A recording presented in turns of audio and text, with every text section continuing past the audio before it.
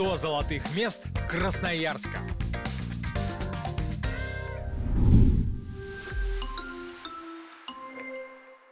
Регбийные клубы «Енисей СТМ» и «Красный Яр».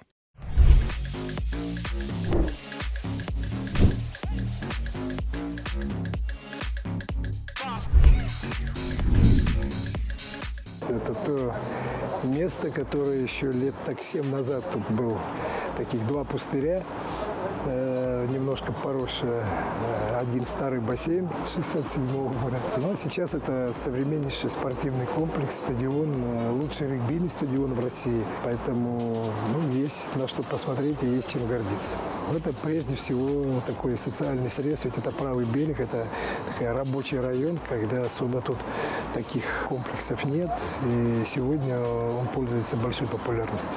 Приглашаем, пожалуйста, приходите. Но это на самом деле сегодня один из самых современных э, спортивных комплексов Красноярска. Здесь э, выросла из средней рабочей полупрофессиональной команды «Септижмаш». Вырос сегодня уже 11-кратный чемпион России, лучшая на сегодняшний момент команда России, Енисей СТМ, и с обладающей, опять же, лучшей школой, Э, в России, и вот теперь еще и лучшим стадионом. Во-первых, все-таки наконец-то люди приходят в комфортные условия. Это э, у них и над головой крыша, и обслуживание идет полное, и вид красивый, и команда показывает хорошую игру.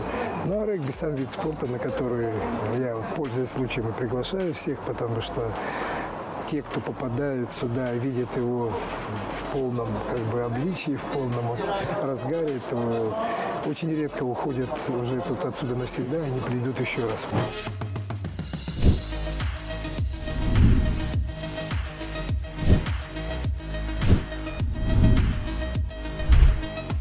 Краснояр является 12-кратным чемпионом страны. А, два раза он был чемпионом Советского Союза и 10 раз чемпионом России.